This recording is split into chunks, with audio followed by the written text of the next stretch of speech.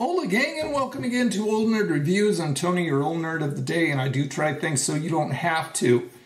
We are having frozen pizza today, and I hope it's good. Um, headed over to local grocery, hit the frozen section, found a pizza that I've never tried before, and so today we are going to take a look at Jack's this is an original thin crust Canadian style bacon pizza. Yeah! From what I understand, Jack's Pizza was founded by Jack Elrick in the early 1960s and it began as a carry-out pizza business. And they have various options. They have thin crust, they have a rising thick crust, and they have these pizza dippers also. I've never seen the pizza dippers or the rising uh, uh, rising crust ones. It's made with real Wisconsin cheese, so those moo cows ain't fooling around. Okay, so how are we supposed to cook this thing? Preheat the oven to 425, remove pizza from the wrap and cardboard, place directly on the center oven rack and bake for approximately 11 to 13 minutes.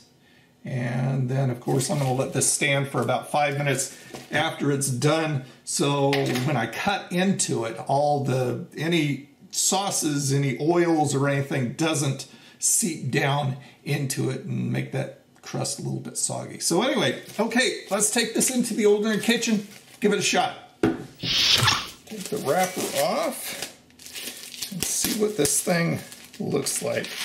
I love the, the packaging of this. It looks old, retro, distressed a little bit. Um, and it says since 1960 right there. That's very cool. I, I love advertising and packaging that is really well done. Okay, um, I'm not a thin pizza guy. I like thick crust. Um, this looks cheap. I hate to say cheap, but it really does. It looks like a, like a Tony's Pizza or, you know, one of the, the very cheap pizzas. Decent amount of Canadian bacon covering it. I'm not necessarily expecting real good things out of this. You can see the sauce down in here covered with a lot of cheese. Usually what I do is I take my pieces and I add extra shredded cheese to the top, but just for the sake of this review, we're gonna get it straight out of the, the package the way it's supposed to be and, and go from there. So anyway, oven just went off. Let's go ahead and put this in. Got my pizza stone here. Plop it down, put it in, set a timer for 13 minutes. It said between 10 and 13. I'm gonna go for the full 13. I'll probably check it at about 12 to see how it's doing. Maybe 11 or 12. In my arsenal today, I've got my handy dandy pizza flipper taker outer thing. it's it's nice, no matter what you call it.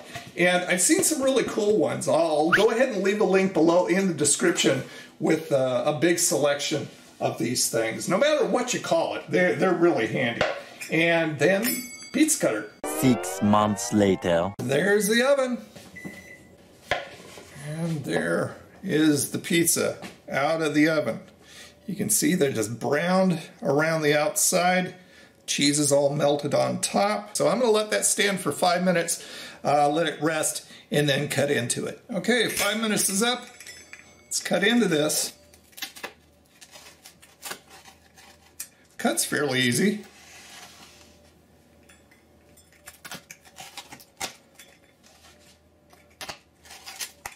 Look at that Canadian bacon there for you. Slide that aside and put a piece on the plate. So, very thin, not used to this thin stuff. Let's take a look at the underside. That's pretty well cooked. Yeah, that looks fairly good. It's just thin, thin, thin. All right. It has a good smell to it. Smells like a, a well put together pizza. Let's give it a shot.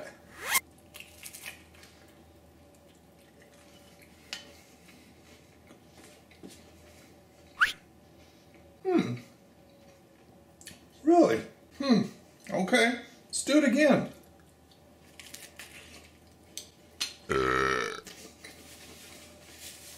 Try to get a big slice of the Canadian bacon. Okay, I'm shocked. Hmm. Got to get some of that crust.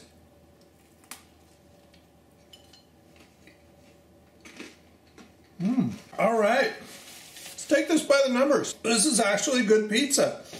Um, the flavors are nice. The Canadian bacon, a little bit salty, has a nice texture and a nice flavor to it.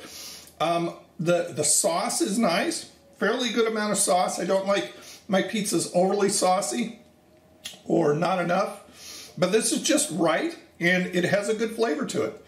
Um, the cheese, nice and cheesy. Uh, it, it can always be a little bit more. That's just personal preference. I can always have more cheese.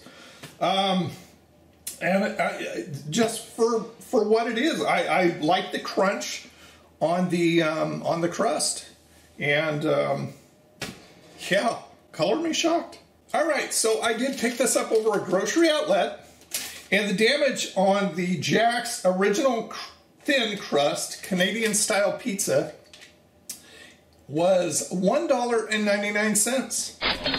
So it it kind of has the same um, cost as the cheaper pizzas, or at least at grocery outlet. I don't know how much they are over at other stores, so you know prices may vary. So on the Nerdometer, I would give the Jack's original thin crust Canadian style bacon. I'm looking here at the thing so I can remember what I'm reviewing. Um, I think I would give this a high I like it. Yeah. Yeah. Of course, the question of the day for you guys is have you had the Jack's Pizza? Any of the Jack's Pizza? Tell me which one you had, which variety, whether it was a thin or a thick crust, or even the dippers. And leave a comment down below. Tell me what you thought. There you go, gang. Another review in the bag, and it was a good one. Thank you so much for watching. Appreciate you guys being here and for commenting and sharing and everything you do. Uh, love gabbing with you guys. If you uh, check the description down below, you'll see a lot of groovy links, including the handy dandy pizza, the thingy there, whatever it's called. Um, and if you do all that, you too can become a part of the, I got it, coffee swelling old nerd crony community. Okay, you guys have a freaking awesome day, and uh, I'll talk to you next time. Bye now.